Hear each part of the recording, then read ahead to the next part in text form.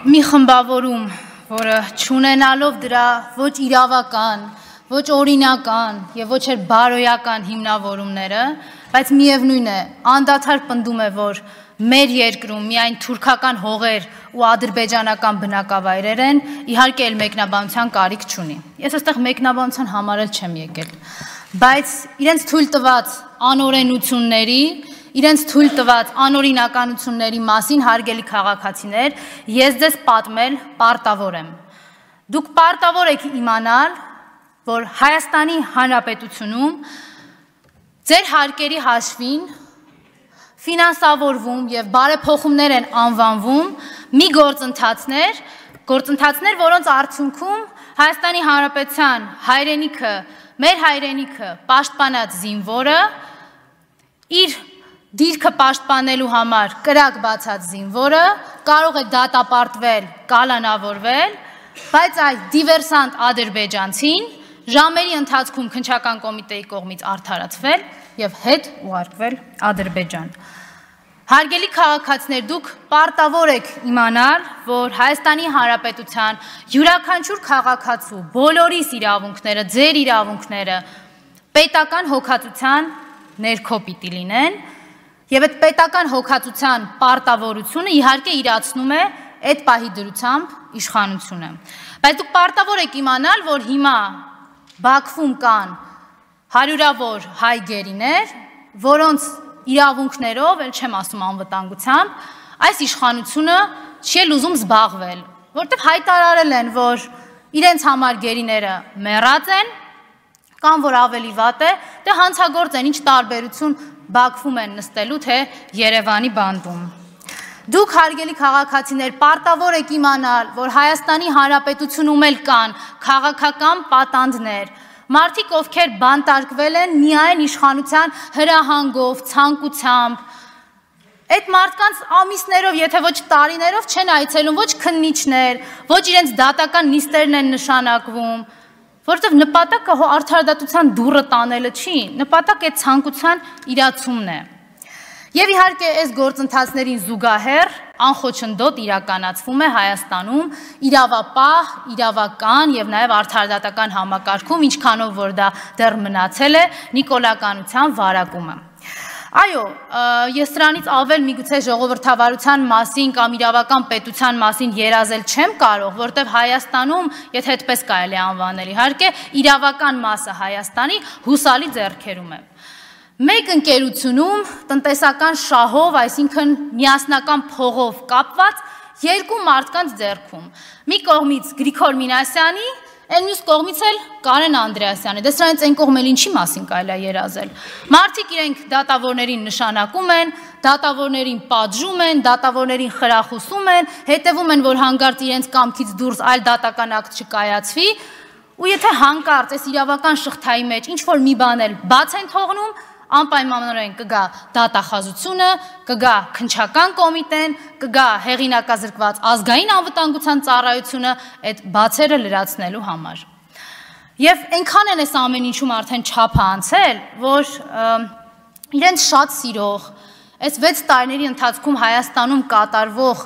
որևէ բան չնկատելու տվող միջազգային կառույցները ոլորտային մասնագիտական կազմակերպությունները սկսել են խոսել, ասում են հերիքը արդեն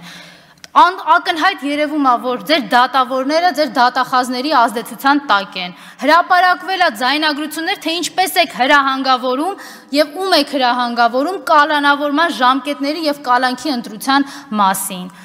Դատավորներ են ինչ որ անհասկանալի հայտարարություններով դիմումներ գրում գնում։ Էս ինչ եք անում, բավական է։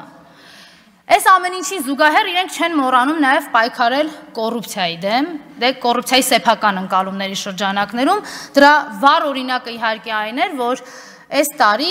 կոռուպցիայի կանխարգելման հանձնաժողովում հայտնվել էին մարդիկ, ովքեր մտածել էին, որ իհարկե ոչ այն բարձրաստիճան իշխանավորներին, բայց գոնե թե միջին օղակը զբաղեցնող իշխանավորներին կարելի է գոնե թե թեթև վարչական վարույթների ենթարկել, էլի, ասել է թե ինչ ունեն հայտարարագրել են եւ ինչ չունեն, չեն հայտարարագրել, այդպես չէ, իհարկե հայտարարագրել են շատ ավելի քիչ, քան ունեցվածք ունեն, միգուցե կարելի է ուղղակի վարչական վարույթի ենթարկել ասել է թե բացահայտել գոնե թե կոռուպցիոն սխեմաները կամ կոռուպցիոն ռիսկերը, բայց իհարկե չէ։ Ախր ո՞նց կարելի է տենց բան մտքներով անցկացնել։ Ստեղ այսքան ընդդիմադիր է նստած, դրսում այդքան մարդ կա, իրանց թողած ո՞նց կարելի է ԿՊԱ-կանների կոռուպցիոն ռիսկերի մասին մտածել անգամ։ Իհարկե չի կարելի։ Դրա համար այդ մարդիկ այլևս ոչ միայն չեն հայտնվի կոռուպցիայի կանխարգելման հանձնաժողովում, այլ նաև այդ հատվածով, այդ կողքով շենքի անցնել չեն կարողանա։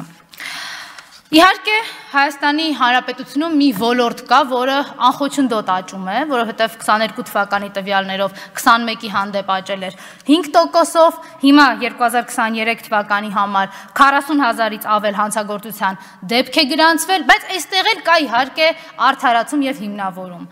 Մեր երկրի բնակչության 80%-ից ավելին տանել չի կարողանում գործող իշխանություններին։ Բա ինչ եք մտածում, այդ ոստիկանությունը այս 80%-ով չի որ պետք է զբաղվի, հո չի գնալու հանցագործներին բռնի, հո չի գնալու հանցագործությունների հետևից։ Պետք է անի ամեն ինչ, որ իշխանությանը վտանգ չսպառնա։ Սիրելի հայրենակիցներ, թվարկած այս ամեն ինչը մեր երկրի համար այո շատ կարևոր են, բայց իշխանությունների համար հավատացեք, մանր մունր բաներ են, որտեվ շատ ավելի կարևոր բան կա։ Իրենք իրենց տերերի կողմից ստացել են հնարավորություն, իրավունք ոտնահարելու Հայաստանի Հանրապետության իրավական պետությունում ամեն ինչ։ Իրենք հնարավորություն են ստացել եւ իրավունք են ստացել Հայաստանի Հանրապետության քաղաքացիների, ձեր իրավունքների հետ վարվել այնպես, ինչպես հարկ կհամարվի, որpիսի հանկարծ իշխանությանը վտանգ չսպառնա, որpիսի հանկարծ իրենց իշխանությունը չտուժի։ Չէ որ իրենք իրենց արժև դրված անգամ ամենահավակնոտ ծրագիրը իրականացրել են, գերակատարել են բոլոր պլանները։ Այ օրինակ պայմանավորվել էին, չէ՞ որ միայն Ստեփանակերտում հայերին կթողնեն, բայց չէ, կարողացել են այս ծրագիրը գերակատարել։ Արցախի հանրապետության 12000 քառակուսի կիլոմետր տարածքում գեթ 1 հայ չեն թողել կարողացել են, չէ, օրինակ պայմանավորվել են, որպես ինչ որ սահման գծեն, սահմանազատեն, բայց չէ,